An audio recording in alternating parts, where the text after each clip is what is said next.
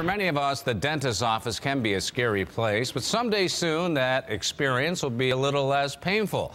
That's because a nasal spray may take the place of those painful injections.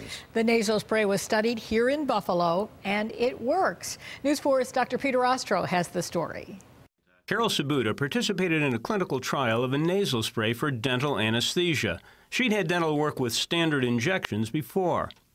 It does hurt when they give you the needle, and then you're swollen, or you feel like you're you can't eat or anything until the numbness goes away. What if you could do without the needle? Dr. Sebastian Ciancio of UB's Dental School has been studying a nasal spray as an alternative for five years. The spray enters the nose and is carried into the nasal sinuses, which are very close to branches of the nerve that carries pain fibers from the teeth. The anesthetic is distributed all along the nerve branches.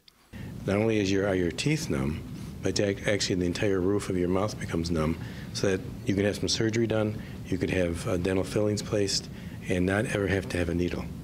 And I think that's the beauty of the product. But in order to have it approved, they have to prove it works. The studies are complete, and it does. Every 9 out of 10 patients, you can actually place fillings with this material, no problem, which is as good as dental injection. The nasal spray also has fewer side effects than injections. The nice part about it is your mouth is numb, but you don't. Your cheek and lips are fine. There's no uh, no numbness. And they did do the procedure, and you don't have anything afterwards. It, it was normal. The night we went out to dinner, and I didn't even know I had any dental work done. Now, it'll still take about a year for FDA approval and widespread availability. This, this, this, all began when a dentist broke his nose. The surgeon who fixed it used a nasal spray for anesthesia, and the dentist noticed that it also numbed his teeth. So he decided to look into it as a dental anesthetic.